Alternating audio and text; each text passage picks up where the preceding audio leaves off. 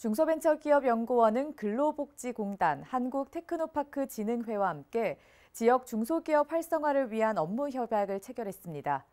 중기현은 공단 빅데이터를 활용해 지역 경제 활성화를 위한 정책을 수립하고 한국테크노파크 진흥회는 위기에 빠진 지역 중소기업을 위한 대응체계 구축에 나설 방침입니다.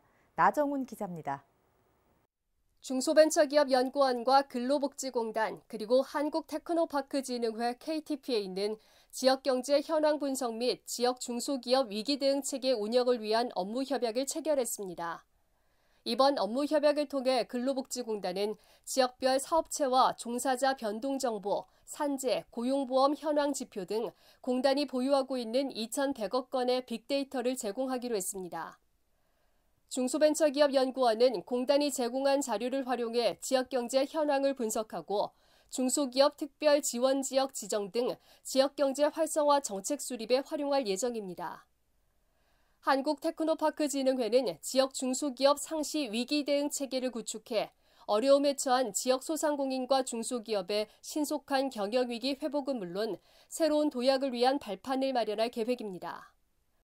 오동윤 중기연 원장은 이번 3자 협약을 바탕으로 세 기관이 보유한 장점과 인프라를 적극 활용해 기업의 특성과 지역 경제 상황을 고려한 연구가 이뤄지길 바란다며 향후 데이터에 기반한 객관적이고 정확도 높은 지역 중소기업 정책이 만들어질 수 있도록 긴밀히 협력해 나가겠다고 밝혔습니다. yestv 뉴스 나정훈입니다.